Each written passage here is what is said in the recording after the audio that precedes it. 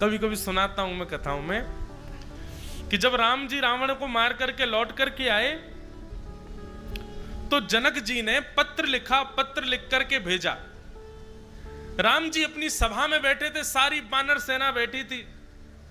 जामवंत जी बोले, भगवान, आपकी ससुराल से पत्र आया है। राम जी बोले, पढ़ के सुनाओ, क्या भेजा है ससुर जी ने लिख के? तो उसमें जनक जी ने लिखा था, हमको बड़ी प्रसन्नता है कि आप सकुशल वापस आ गए हैं। चौदह वर्ष बड़ा श्रम आपने सहा होगा। आपने लंका पर विजय प्राप्त की, उसकी भूरी भूरी आपको शुभकामनाएँ आदि सब लिखी थी। और फिर नीचे लिखा था जनक वास जनकपुर वासियों की बड़ी इच्छा है कि चौदह वर्ष तो हो ही गए हैं, आपको बन गए। और ब्याह के बाद भी लाली जानकी और आपका यहाँ आगमन हुआ नहीं है। हमारी प्रार्थना है कि आप चारों पहुना पहुना मतलब जमाई राजा, चारों बहुओं के साथ और अपनी समस्त बानर सेना के साथ कुछ दिन आराम करने के लिए जनकपुर आ जाइए, हम आपकी सेवा करेंगे। महाराज, जैसे ये बात सुनी, बंदर तो उछलने लगे सारे।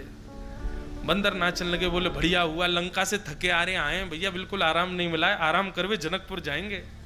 और हमारे ठाकुर जी जमाई हैं तो हम ठाकुर जी के चेला, हम भी जमाई हुए जनकपुर के। हमारी भी खूब खातेदारी होगी।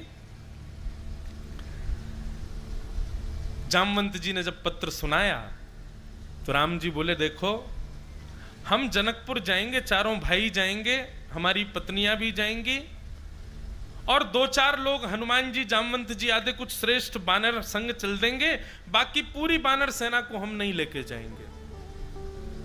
बानर सब रोने लगे, क्यों, हमको क्यों नहीं ले जाओगे? बोले, भैया, हमारी ससुराल है ससुराल में नाक बचाने जाया जाता, कटवाने नहीं। तुम लोग तो किसी से भी छीन के खा जाते हो, किसी पे भी चढ़ जाते हो, किसी के भी घर में घुस जाते हो, कहीं भी कुछ भी कर देते हो। और वो हमारी ससुराल है वहाँ कहीं अगर तुमने कुछ ऐसा अनुचित कृत्य किया, हमारी तो नाक ही कट जाएगी। बानर सब बोले, ठीक है राम जी, जब मरने थे, प्राण त्याग करना था तो हमको आगे खड़ो कर दिया। और जब मालपुआ मिलने वाले तो बानर यहीं रहो। ठीक है, कोई बात नहीं, देख लिया। बानर बड़े उदास हो गए। लेकिन राम जी तो लीला कर रहे थे। सब बानरों ने अति वृद्ध जामवंत जी को घेर लिया, बोले, सुनो, हमको जनकपुर लेके चलो। हम भी मालपुआ खाएँगे, हम भी अपनी सेवा करवाएँगे वहाँ पे। जामवंत जी बोले, तुम्हारी आदतों की वजह से नहीं ले जा रहे हैं। तुम बन के बन उजाड़ देते हो किसी मैदान में घुस जाओ, उसको तहस नहस कर देते हो, किसी की भी सामग्री उठा के भाग जाते हो, ये सब तुम्हारा स्वभाव है, इसलिए बेचारे मना कर रहे हैं राम जी। बानर बोले, हम बिल्कुल सुधरे सुधरे जाएँगे, आप हमको ले चलो बस। जामवंत जी बोले, ठीक है, मैं एक युक्ति अपनाता हूँ। और राम जी के पास जाकर के सब बानरों की बात कह करके जामवंत जी बोले, प्रभु, मैं जिम्मेवारी लेता हूँ। एक भी बानर कुछ भी गलत नहीं करेगा। राम जी बोले, प्रमाण क्या? बोले, प्रमाण ये कि जो मैं करूँगा, वही ये लोग करेंगे। राम जी बोले, करके दिखाओ। सारे बानर बैठे थे। जामवंत जी बोला, जैसे मैं करूँ, वैसे ही करना, उसके अतिरिक्त कुछ नहीं। वो ठीक है। जामवंत जी एक हाथ उठा, मैं तो सारे बानर एक ही हाथ उठा मैं। जामवंत जी नीचे देखें सारे बानर नीचे देखें। जामवंत जी उछलें तो सारे बानर उछलें। जामवंत जी बैठ जाएँ तो सब बैठ जाएँ। राम जी बोले, देख लो, अगर ऐसे चलोगे तो तो हम ले चलेंगे, नहीं तो हम नहीं ले जाएँगे। बानर बोले, हम बिल्कुल ऐसे ही चलेंगे। हम तो महाराज सांस छोड़ेंगे, लेंगे भी, तभी जब जामवंत जी लेंगे। हम इतना वचन दे रहे हैं आपको। राम जी बोले तो ठीक है, फिर चलो। अब महाराज रथ सजाए गए और चारों बहुएँ और चारों भैया विराजमान हुए। हनुमान जी, जामवंत जी, अंगद जी, आदि आदि सब बानर और पीछे बानर बिल्कुल ऐसे चल रहे हैं जैसे 26 जनवरी की परेड होती है। एक साथ पाम आगे चल रहे हैं एक साथ हा, हाथ आगे चल रहे हैं। जामवंत जी मूड खुजा रहे हैं तो सारे बानर मूड खुजा रहे हैं। जामवंत जी कमर खुजा में तो सारे बानर खुजा में। जामवंत जी को खांसी आ जाए तो ज़बरदस्ती खांसे सब। राम जी बड़े प्रसन्न हो रहे हैं देख करके बोले जय बढ़िया है। जनकपुर पहुँचे। जनकपुर में जैसे ही पहुँचे अटारियों पर सखियाँ खड़ी थी पुष्प वर्षा कर रही हैं। और महाराज मालाएँ लेकर के खड़ी हैं, सुंदर आरती के थाल सजाए हैं। और पूरे जनकपुर में राम जी से ज़्यादा प्रशंसा उनकी सेना की हो। बोले, भैया, ऐसे बानर नहीं देखे। और राम जी, जामवंत जी सब बानरों के कुर्ता और सिलवा के ले गए थे। ऊपर से कुर्ता वुर्ता पहन करके बिल्कुल सीधी छाती करके सब चल रहे थे। कहीं कोई सेब खाता दिख जाता तो बानर का स्वभाव छीन लेता है। पर यहाँ सेब खा रहे हैं बानरों के सामने, लेकिन बानर नहीं, उनको देख भी रहे, सीधे चल रहे हैं, बिल्कुल जामवंत जी जो कहेंगे वही करना है। जनक जी ने स्वागत किया। सारे बानर बिल्कुल सभा में बैठे, एक सुई गिर दो तो उसकी आवाज़ आ जाए, बिल्कुल हलचल नहीं हो रही है, सब बानर बिल्कुल एक टक बैठे हुए हैं।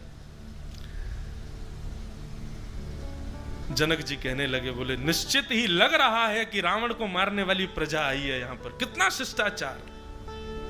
राम जी बोले, जी, बिल्कुल ऐसे ही है, हमारे भोले भाले बानर हैं सारे। महाराज, अब अब वार्ता बाद में होगी, पहले प्रसादी पाली जाए? बोले, जी। अब बानर तो भैया कभी पेड़ पर चढ़ के खाते हैं, एक दूसरे से छीन के खाने वाले, लेकिन आज बानरों के आगे पट्टा लगाए गए, चौकियाँ लगाई गई हैं, आसन धरे गए हैं, थालियाँ लगी गई हैं, उसमें सुंदर सुंदर कटोरियाँ रखी हैं। अब एक एक सामग्री आ रही है। कड़ी आवे, दाल आवे, सब्ज़ी आवे, पूड़ी आवे, गुलाब जामुन आवे, रसगुल्ला आवे। लेकिन बानर थाली की ओर नहीं देख रहे, सब जामवंत जी की ओर देख रहे हैं। बोले, ये जो करेंगे, वही करना है। सब सामग्री आ गई। फल आए तो फलों में सेब आए, अमरूद आए, आम आए, सब सामग्री रखी गई। जनक जी ने हाथ जोड़ करके सबसे कहा, प्रारंभ कीजिए, प्रसाद पाइए। लेकिन बानर नहीं, बिल्कुल भी। जामवंत जी को देखा, जामवंत जी ने पहले जल हाथ में लिया, थाली के चारों ओर घुमा करके महाराज, अन्नपूर्ण सदा पूर्ण कहने लगे, सब बानर भी हाथ में जल लेकर के घुमा रहे हैं, पी रहे हैं। जनक जी कहे, वाह भैया, ये बानर हैं। देखो इनको। देखने के लिए भीड़ लगी है बानरों के शिष्टाचार को। इतने में ही जामवंत जी ने सबसे पहले आम उठाया, आम ही प्रिय था उनका। आम को घुमा के देखा, बोले, वाह, बढ़िया वाला मीठा आम है। अब जामवंत जी भैया का ताकतवर नहीं थे। जामवंत जी इतने बलवान थे, इतने बलवान थे कि राम जी जब रावण को मार के लौट के जब वापस आ गए तो एक दिन जामवंत जी अपने हथेली खुजा रहे थे। तो राम जी बोले, क्या हो गया? बोले कि, भगवान, मेरी हाथ की खुजली शांत नहीं हुई। बोले, क्यों? बोले, मेरे समान बलवान पूरे राम रावण युद्ध में दो ही थे। एक तो रावण और दूसरा कुंभकर्ण दोनों को आप दोनों भैयाओं ने मार दिया। मेरी तो हाथ की खुजली ठीक ही नहीं हुई है। इतने बलवान थे जामवंत जी। अब बेचारा छोटा सा आम पकड़कर जामवंत जी ने जैसी दबाया सोई उसकी उछली, गुठली उछल गई। जैसे ही गुठली उछली, सारे बानरों ने भी आम उठा के सबने दबाए, बोले, गुठली उछलनी ही चाहिए। और जैसे ही सबने आम पकड़ के दबाए, सबकी गुठलियाँ उछली। जामवंत जी की गुठली उछली। जामवंत जी बोले, मेरे हाथ से रावण निकल के नहीं भाग सकता, गुठली की इतनी मजाल भाग गई। और पकड़ने के लिए जैसे ही जामवंत जी उछले जामवंत जी के उछलते बानर बोले, आक्रमण अब खुल गए महाराज, कूद पड़ो सबरे। और लिए महाराज, बानर एक दूसरे पर कूदने लगे। किसी की कड़ी लेके भाग रहे हैं, किसी की दाल लेके भाग रहे हैं। जनक जी की थाली में से पूड़ी लेके भाग गए बानर सबरे। पूरे जनक जी के महल में कड़ी, खीर, दाल आदियों से पूरा लेपन कर दिया पूरे सभा का। राम जी नीची नज़र करके बैठे थे। जनक जी बोले, लग रहा है कि रावण को मारने वाली सेना है। राम जी बोले, अब क्षमा करें पिताजी, बानर हैं, अपना स्वभाव कैसे छोड़ सकते हैं? जनक जी को लगा कि राम जी को बहुत संकोच हो गया है तो जनक जी ने तुरंत राम जी को हृदय से लगा लिया। परंतु सबसे ज़्यादा संकोच तो जामवंत जी को हो रहा था। जामवंत बोलने लगे, बोले, सारे करे कराए पे पानी फेर दिया, अरे ये क्या गुठली उछल गई, सबरे उछल गए? तब राम जी को बड़ी मंदी नज़रों से जामवंत जी ने देखा, क्षमा मांगते हुए। लेकिन जब राम जी को देखा तो राम जी जनक जी के हृदय से लगे हुए थे और जनक जी के नेत्रों से आँसू गिर रहे थे। वो दृश्य देख करके जामवंत जी के चित्त में आया कि ऐसा सौभाग्य मुझे कब मिलेगा कि मेरे भी जमाई राम जी जैसे हों और मैं अपने चित्त से उनको लगा करके प्रेमाश्रु बहाऊं ये हृदय का भाव जैसे ही प्रकट हुआ, अंदर से आत्मग्लानी हो रही थी कि मेरी वजह से सब बिगड़ गया। राम जी, जामवंत जी के चित्त की बात समझ गए। तुरंत आसन से उठ करके आए और जामवंत जी से बोले, हम आपके चित्त की बात समझ गए हैं। आप आत्मग्लानी मत करो। हम आपसे बहुत प्रसन्न हैं और आपको वचन देते हैं। आपके हृदय का मनोभाव हम द्वापर युग में पूर्ण करेंगे। और आज उसी द्वापर युग में द्वारिकाधीश कृष्ण पधारे और जामवंत जी की पुत्री जामवती के साथ में विवाह किया। बोलो, जामवती रमन भगवान की दूसरा ब्याह जामवती जी के साथ।